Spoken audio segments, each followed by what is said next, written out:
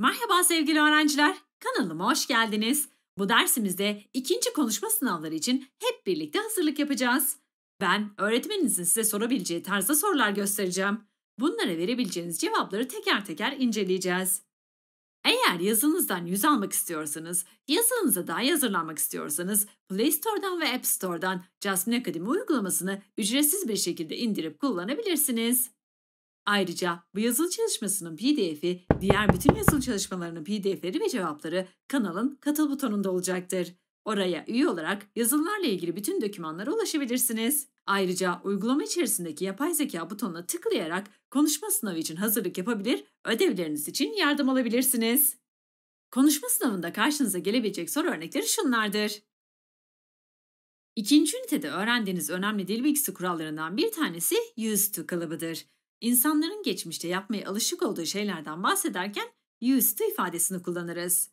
Öğretmeniniz bu ifadeyi kullanabilmeniz için size çeşitli resimler gösterip bu eski resimleri used ile anlatmanızı isteyebilir. Örneğin bu soruda 6 tane geçmiş zamana ait resim var. Bu resimleri ifade ederken used to kalıbını kullanmanız gerekiyor. Şu şekilde cümleler kurabilirsiniz. In the past, people used to read newspapers. People used to do laundry by hand. People used to ride carriage to transportation. Also, people used to play outdoor games, such as leapfrog. There wasn't electricity, so people used to light a gas lantern. People used to listen to the radio instead of TV.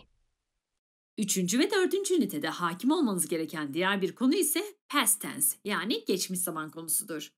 Geçmiş zamanla ilgili cümleler kurabilmeniz için öğretmeniniz size tanıdık, bilindik kişilerin biyografisini gösterip bunlarla ilgili cümle kurmanızı isteyebilir.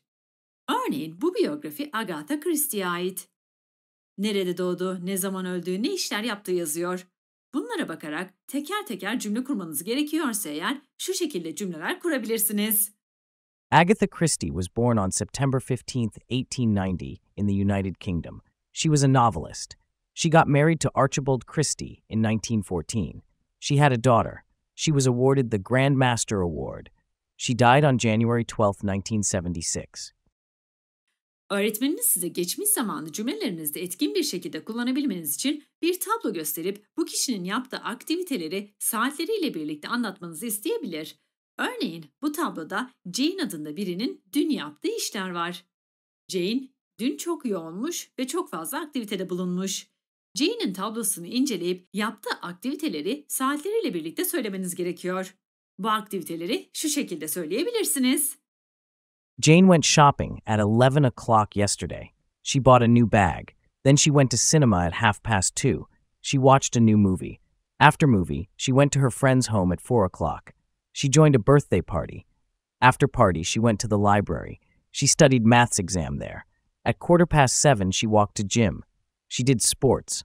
Beni dinlediğiniz için teşekkür ederim. Katıl butonuna üye olmayı, uygulamayı indirmeyi, videoyu beğenip paylaşmayı unutmayın lütfen. Hepinize şimdiden başarılar.